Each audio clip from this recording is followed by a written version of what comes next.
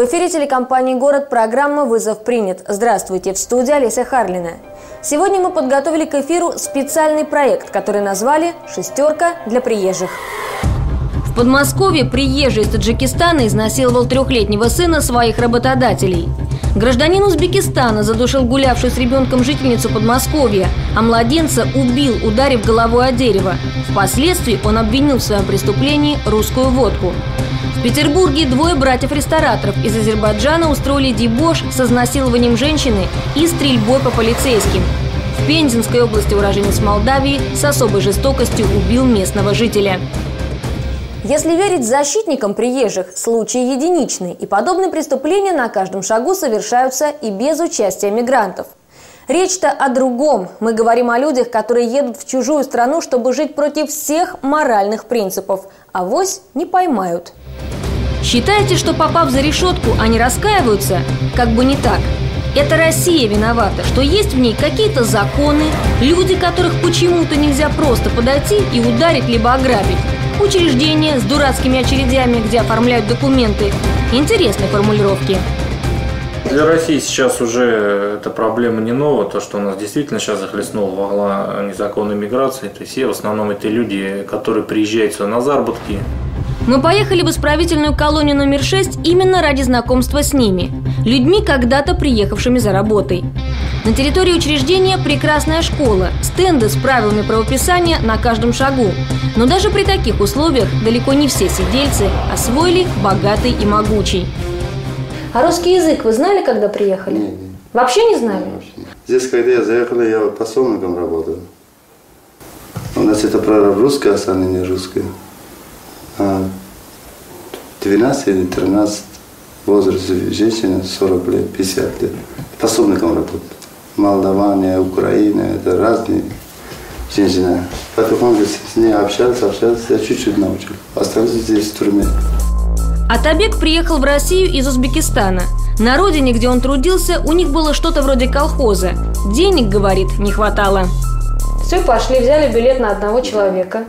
Сели в поезд, поехали куда? В Москву? Нет, в Рязань. Сразу в Рязань. Вас здесь кто-то ждал или так? Нет, там здесь мне друзья там встретили, там, в Они тоже уже работали да, здесь? Да, да. Но они вам наверняка какие-то перспективы говорили, что здесь хорошо, здесь работа есть. Как получилось, что вы нет, к ним? У меня два брата здесь работают, младший брат. Вы решили к ним? Да, да, потом я сам. А сколько вы получали, где вы работали? Там во время 2008 года до 15 18 около 15-20 тысяч зарплат. Вопрос о заработной плате мы задали каждому собеседнику. Вдруг и правда на преступление толкнули обстоятельства. У Атабека, например, дома жена и двое сыновей. Часто, говорят в колонии, родные не знают, за что кормилец попал за решетку. Сам заключенный опускает глаза и улыбается. Ну что, скучно, может быть, было? Как? Почему? Не знаю, я, сам не знаю. Любой психолог вам скажет, что в первый раз преступление можно списать на ошибку. Но второй и третий инцидент – это, извините, осознанный выбор. В биографии Атабека несколько криминальных эпизодов, и от всех пострадали женщины. И это при том, что на его родине, в Узбекистане, никто не позволит себе обидеть чужую мать или жену. Так почему такие табу перестают действовать в чужой стране? Куда девается мораль, совесть и прежде всего человечность? Ведь это не вопрос знания законов. Скажите, вы какие-то выводы лично для себя сделали? Ну, кроме, вот знаете, высоких фраз, как у нас любят очень, я все осознал, все у меня хорошо, вот просто для себя. То есть поменялось у вас что-то в сознании? Не знаю, я не могу ничего сказать. То есть что? Это в порядке вещей напасть на женщину посреди улицы и за 4 года пребывания в колонии даже не найти слов для извинения. Зато нашлись нелестные комментарии о нашей границе. Мол, слишком долго, целых полчаса, а то и все полтора. Он так и не понял, что это и есть закон, и формальную процедуру проходят граждане любой страны. Жалобы – это вообще особенность многих мигрантов. Проще всего списать на то, что их не любят – и ни один не подумает, а собственно, почему. И жаловаться им на то, что с ними как-то относятся не совсем э, правильно, наверное, не приходится, потому что по прибытию мы их не разделяем на, скажем так, таджиков, узбеков там и все. На данный момент в «шестерке» 1186 осужденных, 806 из них русские. Остальные – весь Советский Союз в миниатюре – таджики, узбеки, украинцы, молдаване, азербайджанцы и так далее. Есть даже кубинец. Это так называемый карантин, с него все и начинается. Осужденные сдают анализы, некоторые, кстати, впервые, и по общим результатам отправляются отбывать срок к остальным. Картина у всех как под копирку. Украл, выпил, в тюрьму. Оправдание тоже. Так получилось. Самой опасной категорией осужденных негласно считаются уроженцы Таджикистана. Как правило, они совершают преступления против личности. Да, если посмотреть по, скажем, точным количествам состава, то есть процент соотношения Таджикистана у нас представлен порядка 36%, а Узбеки 21%, Украина 10%, Молдавия 8%. Это значит, от общей массы осужденных, содержащихся здесь. Азербайджан 7%, Киргизия 6%, Армения 6%. Беларуси 6, Татарстан тоже пошли такие народности, скажем, Грузия вот э, полтора процента. Это Николай. Родился и вырос он в молдавском селе. Для своих 30 лет дров наломал много. Но, похоже, единственное, чего не понимает, почему стал изгоем. Я попал здесь, как светом, отвернулся. Когда ты был хороший для, для, для всех, попал здесь, мне как-то уже как-то проходит для них, они считаются. А вы как считаете? Ну, им, им виднее, виднее. Когда Николаю было 9, в семье случилась беда, умерла мама. Он остался за старшего и вместе с отцом помогал поддерживать хозяйство, присматривал за сестренками. Казалось бы, должен привыкнуть к ответственности. А русский язык вы знали, когда ехали? Нет, когда я приехал, я не знал. Вообще не знали? Ну так, знал. Так, чуть-чуть. Как зовут, как пройти? Ну, иди сюда. Иди сюда. А, сложно было учить русский? Сложный язык? Ну, я старался побыстрее. Если стар... человек это себе это интерес дает, это побыстрее.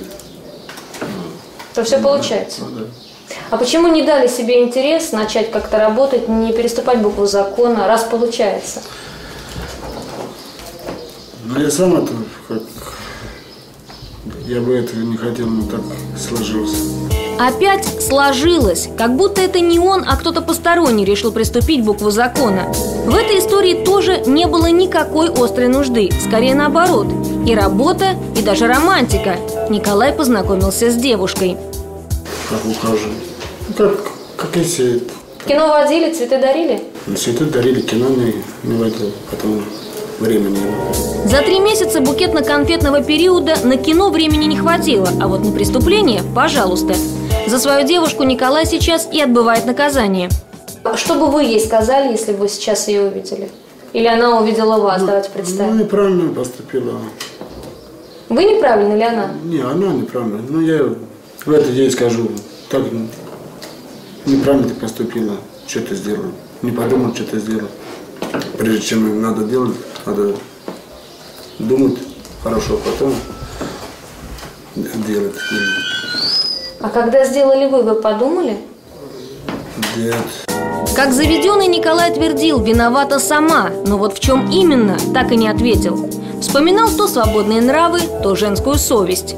Я все пытаюсь понять, вы меня поймите, Николай, вы говорите неправильно. Вот когда человек сделал ошибку, да, в слове, написал не «не», а «ни», ему говорят, тут должна быть «е». Вот вы говорите неправильно. А как правильно? Что надо не делать? Ни в коем случае не делать. Очень вольно ведем себя, да? Ну, можно сказать и так. У нас это, вот здесь в России, там, там девушка здесь родился, там пил по дороге, там пьет, или, ну, как так, наверное, должно быть. А у нас такой нет. Если даже это, может, она и курит, или там пиво пьет, она там где-нибудь это спрятался, выпил там то пиво и закурил. Ну, не, не идет так по дороге, сигарета с пивом. А ваша девушка что-то такое делала, я так понимаю? Ну, я, я не спорю, может, и как-то... Но вы не видели, то есть вот мы сейчас не в этом ее обвиняем? Не, не, я не Кстати, в Молдавии он был женат, от этого брака родился ребенок. Но, по словам Николая, супруга не стала ждать, когда он заработает денег в России. Ушла раньше – все кругом негодяи, и только он тянет тюремную лямку. Давайте уточним. Вы не ожидали, что последует наказание или что вы способны сделать что-то, что повлечет наказание? От себя больше или от того, что разоблачат? Ну, от, от, от того, чего-то разоблачат. Не от себя. Вот вам и ответ. Заметьте, не надуманный журналистом. Даже тюрьма не исправила. А мы еще говорим о морали и высоких чувствах. И большинство заключенных мигрантов того же мнения. Пока не посадят, можно и грабить, и насиловать, и резать. Конечно, статистика, как принято говорить, всегда средняя температура по больнице. Но, например, в той же Москве приезжими совершается каждое пятое убийство, каждое второе изнасилование и каждый третий грабеж или разбой. И что, простите, означает это «мы не знали ваших законов»? Каких? Не убей, не укради? Они одинаковы во всех странах мира. Кстати, о географии. Осужденные мигранты сами просят отбывать срок на территории России. Дело в нюансах законодательства. На их родине, оказывается, до сих пор действуют советские правила. Там за провинности на территории колонии выговором не отделаешься. Могут лишить и посылок из дома, и работы тяжелой нагрузить. То есть тут закон знают все. Это Вадим, он тоже из Молдавии, но до четвертого класса он даже учился на русском языке. Вадим никого не убивал и не насиловал, как раз тот редкий случай, когда и правда нужда. Я как бы вырос в деревне, вот, и сельскохозяйственно все.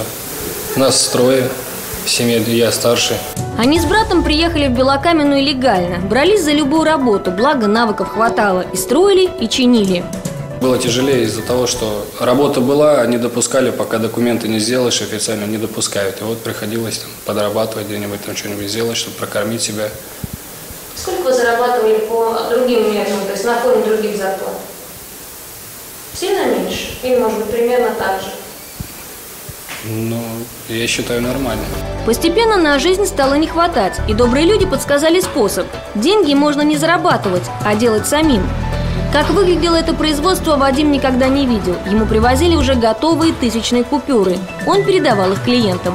Качество было такое, что банкомат принимал фальшивку до пяти раз. Сидя здесь, я был бы рад вернуть все обратно, обдумал много чего. Вы давно здесь? Ну, четвертый год уже. Любопытно, что Вадим как раз из тех мигрантов, которые должны стойко охранять рубежи. До приезда в Россию год отслужил в погранвойсках. Не успел толком отвыкнуть от распорядка, как нагрянул новый, куда менее приятный. Мечта? Мечта хочется семьи, если честно, давно уже. Детей, очень сильно люблю детей. Нини Рома Суланджумати, Евро Тарякаса, Евро Ламама Шлатата.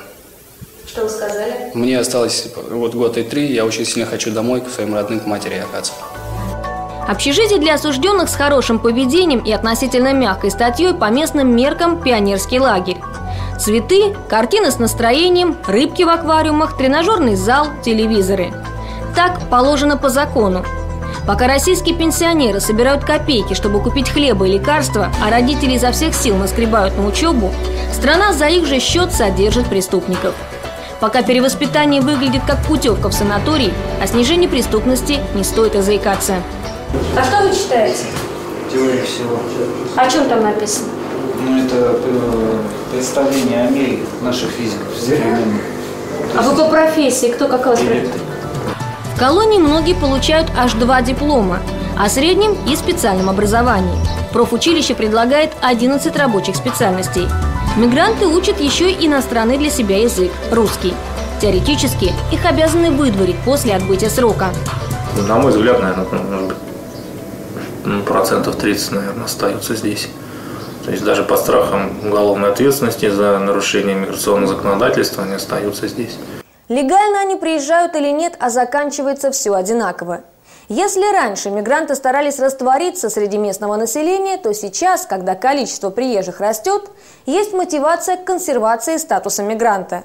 Мы же их принимаем, терпим хамство, платим за их пребывание в тюрьмах, за свои же деньги потом выдворяем, а они возвращаются, и все начинается по новой. Как сказал Юрий Лотман, культура начинается с запретов. Если мигранты уже сейчас уверены, что ошиблись не когда пошли на преступление, а когда попались, то что будет дальше? На сегодня все. Увидимся через неделю.